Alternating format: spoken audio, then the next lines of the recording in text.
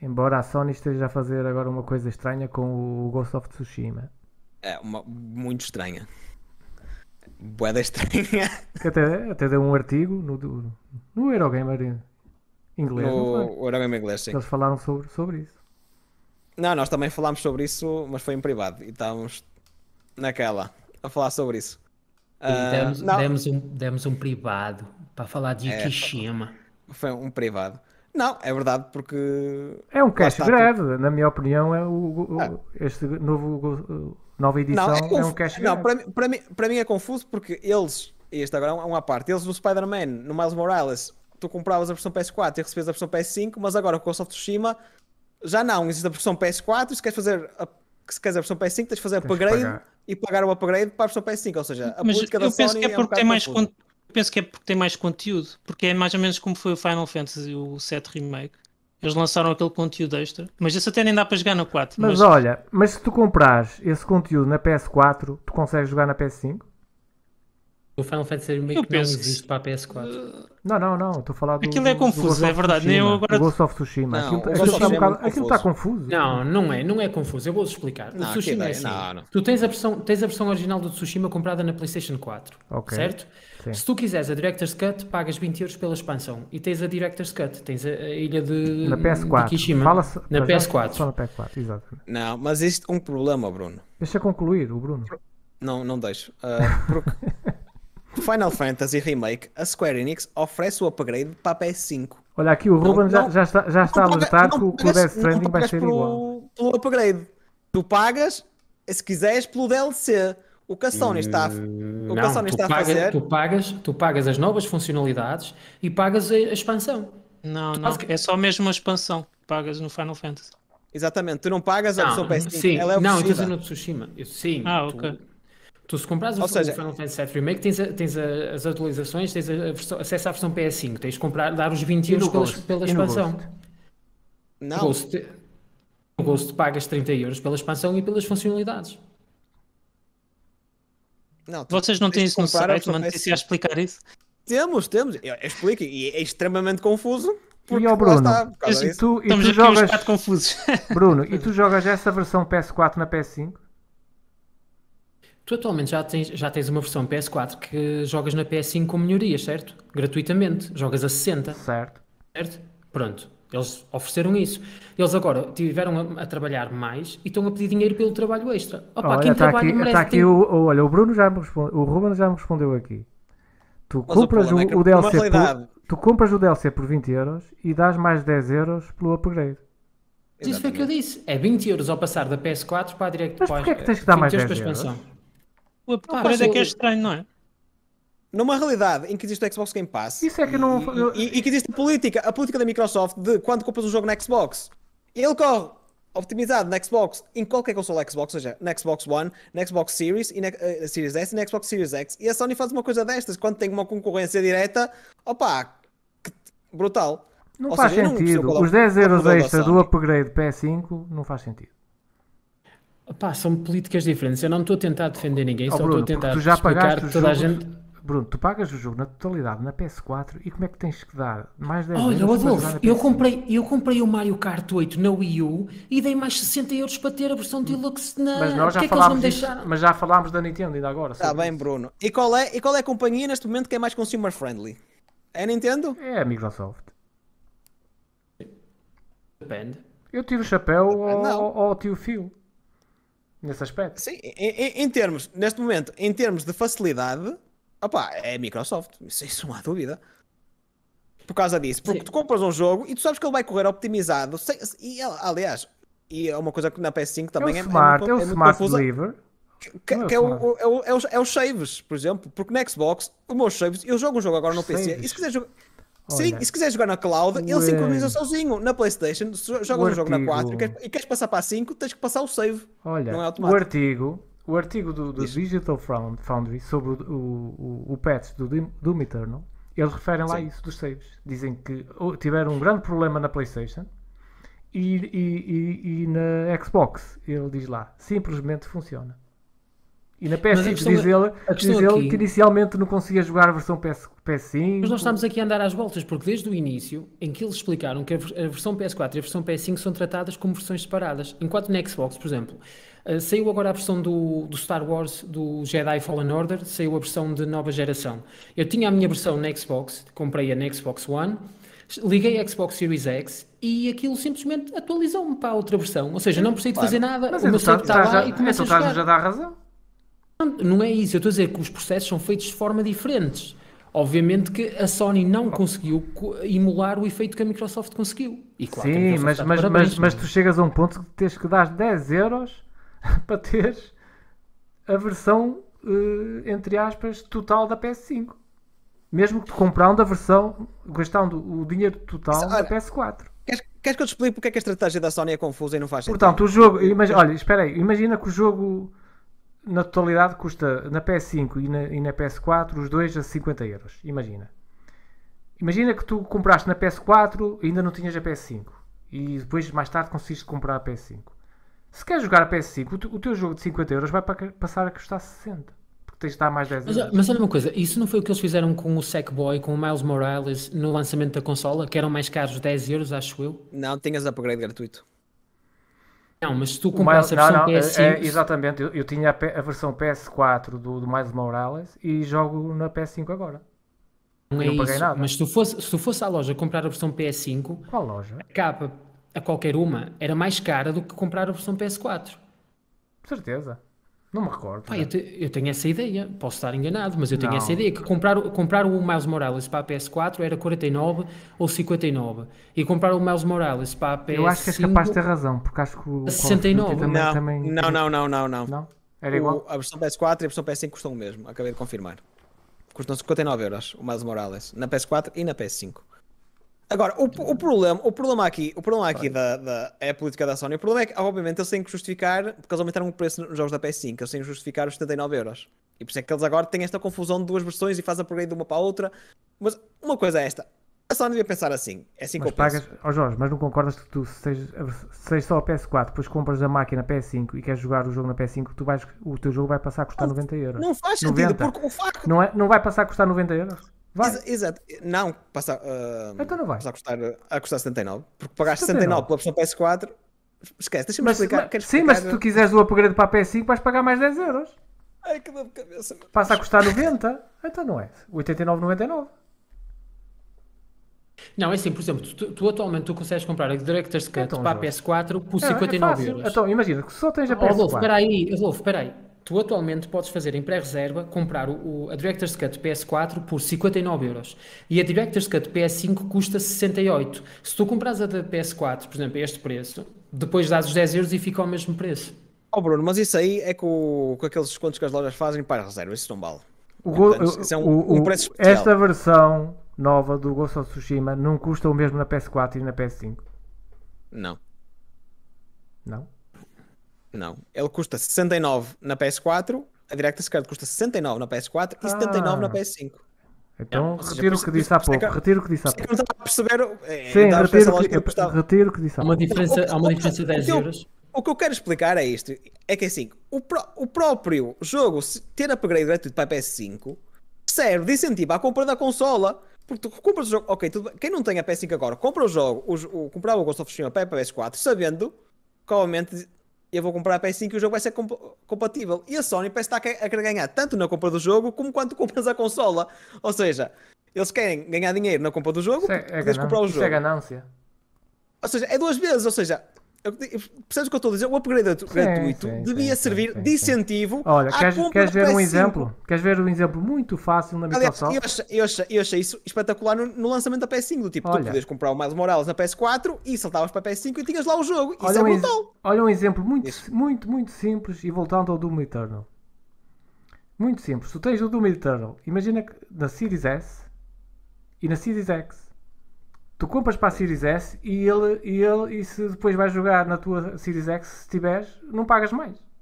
Claro, é o Smart Delivery.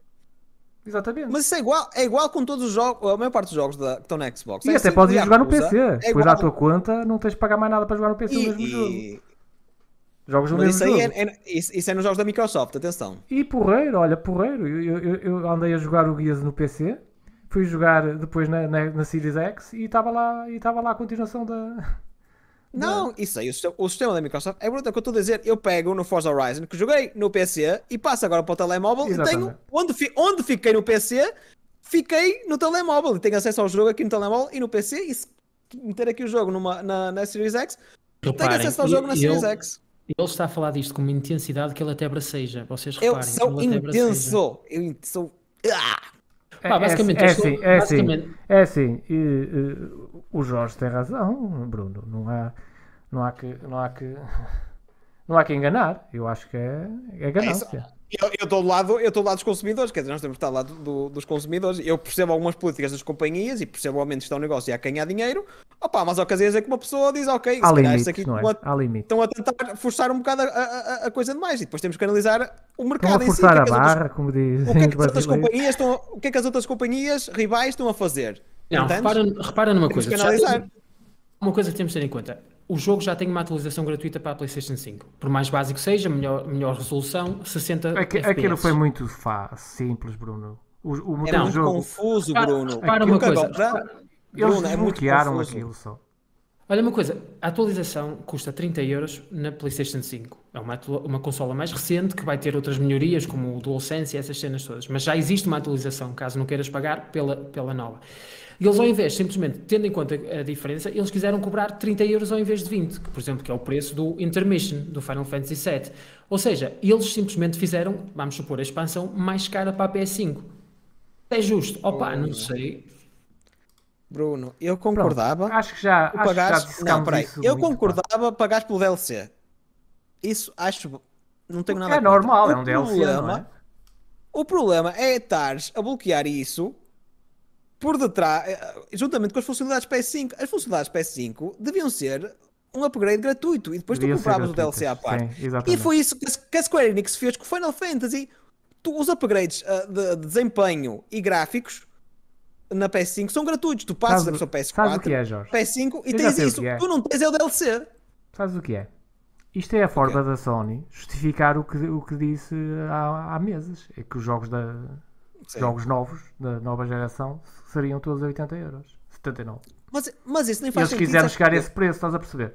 Porque o Ghost of Tsushima não foi desenvolvido de origem para, para a PS5. E exatamente, aí tens razão. Exatamente.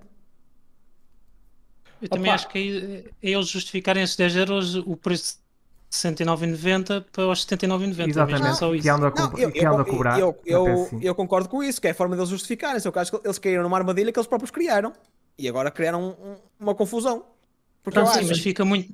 Fica mal. Eu acho que fica mal Fica eles estarem a cobrar fica, 10 euros. fica mal, fica mal. A expansão Não, do eu acho- Valhalla, por exemplo, a War of the Druids custa 25, 25 euros. Eles aqui o que eles então podiam ter feito era pôr 30 euros para toda a gente. Pronto. E as pessoas aí já não iam estar a discutir o que é que tinham numa outra, mas então as pessoas iam passar a discutir que por 30 euros na PS5 tinham mais funcionalidades e na PS4 estavam a pagar o mesmo por menos. É? Não, porque o upgrade era gratuito. Olha, um bom exemplo. O Assassin's Creed. Não, porque o upgrade era gratuito. Sim, se eventualmente fosse, mas se tu não fosses comprar a PlayStation 4, a PlayStation 5 tão cedo, ias E estar não- a pagar o mesmo na PS4 por menos. A controvérsia ia ser outra. Então, Não, era, se- por- não é por menos. Isso aí acontece em Sabes o nas, que é? nas, pessoas A, cross-gen sempre. a- a culpa é da própria Sony. Isto é, isto é uma confusão. Isto é uma confusão. Porque, por exemplo, O- um consumidor Devia- normal devia olha, existir- olha para os preços. Mas espera aí, a compra dos jogos PS4 e PS5 devia existir só uma compra. Não, não tinhas que ir, olha, eu especificamente eu vou comprar o jogo da PS4. Especificamente eu vou comprar o jogo da PS5. Na Xbox não é Isso assim. é- Tu compras o jogo e está falha. feito. Mas isso, nós já, isso já nós já debatemos, é, é uma Vocês falha na lembram-se? implementação. Vocês lembram-se que eu nem conseguia jogar o Miles Morales na PS5? Dava. Mas assim, Dizia mas que isso eu não tinha o jogo. aqui. Dizia isso que eu é não tinha o isso jogo. Se calhar estavas a jogar a versão da PlayStation 4. Não, não. Porque havia aquela questão da gente ter as duas versões Não, na, era um- PlayStation 5. Era um erro que eles depois corrigiram. Ok. Portanto, eu tinha o jogo pago na PS4, eh, eh, depois eh, e fui para a PS5 e dizia que eu tinha que voltar a comprar o jogo, que eu não possuía o jogo. Dizia que eu não tinha o Mas, jogo. mas isso foi uma falha no início, Isso foi- depois isso foi foi um corrigida. Ok, mas a Microsoft resolveu isso. É, tu só tens uma versão do jogo. É Xbox. Não se chama jogo Exato. Xbox Series S ou Series X. Não tens... Vais à loja da Sony, quantas versões não tens do mesmo jogo? Tens logo duas. Quando tu poderias comprar só um jogo e depois dependia onde é que o vais instalar. Mas isso estamos a, andar, estamos a nadar sobre o mesmo, nós, nós estamos a chover molhado. Nós já dissemos que a implementação, a implementação da Sony é diferente e eles tratam as duas versões de forma diferente. E isto está a causar transtornos, pronto, está a causar problemas desnecessários. Não, só está a causar transtorno agora com, esta, com, este, com este caso específico do Ghost of É o Tsushima. primeiro agora. Não, não, Mas olha que não aqui o ninguém a Ruben, queixar-se. aqui no chat, o Não Ruben há a pouco, há pouco o Ruben referiu, vocês não ouviram, eu disse, que, que ele diz que vai se passar o mesmo com o Death Stranding. Será? É provável.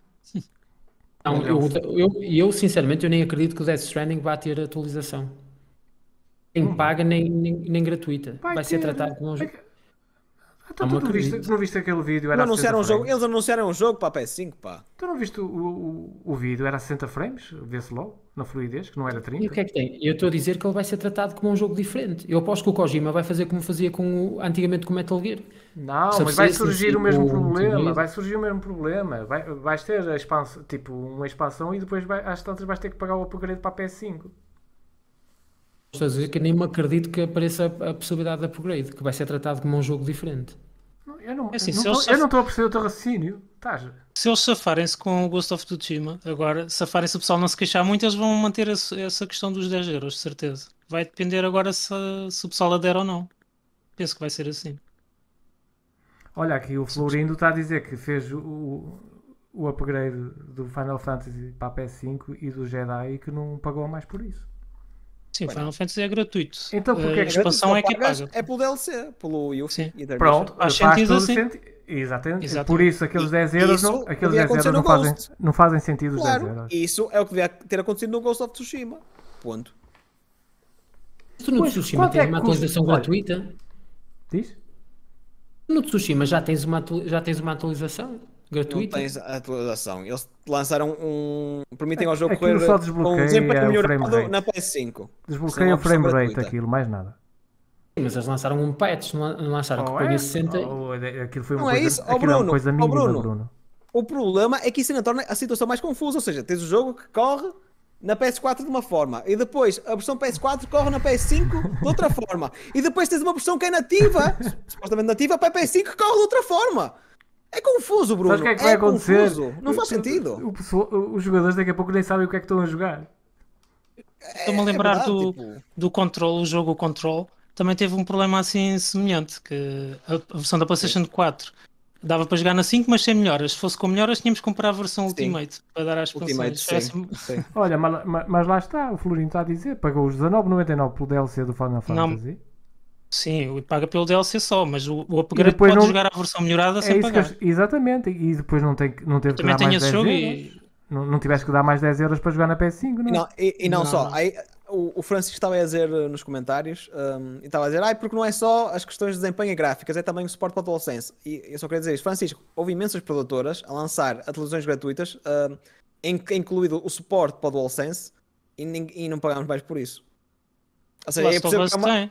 Last of Us 2 tem um update e o God of War e há mais uns outros. Então o The Last of Us 2, ninguém pagou? O Last of Us 2 adicionou o DualSense Exatamente, também. Exatamente. Exatamente. E é gratuito. Ou seja, Tá- tá- não, é, o que- é, é, é a estou a ver, dizer, a Bruno? O The Last of mensagem, Us a 2. política, O The Last of Us 2 nin- não se pagou nada por, Melhorou pelo 60 upgrade. fotogramas por segundo, os FPS, e, foi também o DualSense. Exatamente, o DualSense, exatamente.